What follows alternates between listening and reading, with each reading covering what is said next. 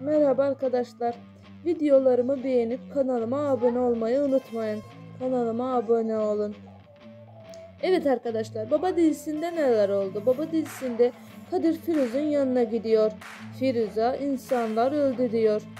Vebali çok büyük diyor. Firuz Kadir'e ailesine göz kulak ol diyor. Ferit Karaçam Firuz'un yanına çağırıyor. Ferit Büşra'nın eski kocasının benim yanıma getir diyor. Büşra'nın kocası ondan boşanacak mı? Evet arkadaşlar bu tür videolarımı beğenin. Kanalıma abone olun.